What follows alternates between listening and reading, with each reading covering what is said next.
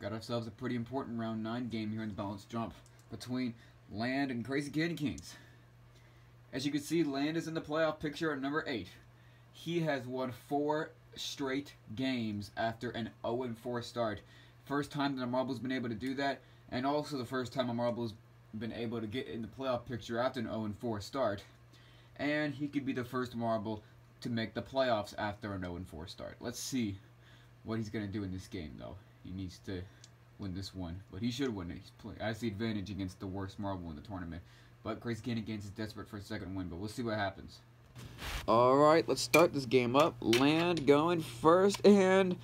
Oh my gosh, a full 50. Yep, this marble is dangerous. Oh my gosh. Land. If he would have started off like this at the beginning of the tournament, this would have been a whole different tournament for him. I gotta say, he's... Uh, the Crazy Kitty gets a 7. Land needs an 8 or better to clinch his fifth win in a row. He gets to the 30.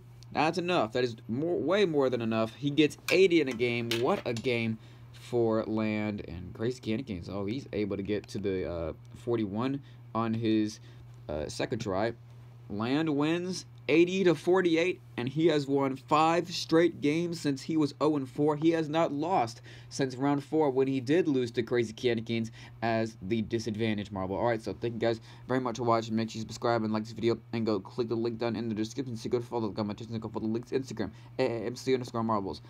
All right, so I'm pretty sure Land is uh giving the other uh, elite marbles this Balanced Jump something to fear about.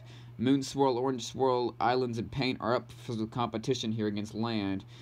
I mean, like, we'll see how um, the rest of the tournament will play out. But anyway, I guess I'll see y'all later. Land has a round 10 game against Paint as the dis marble.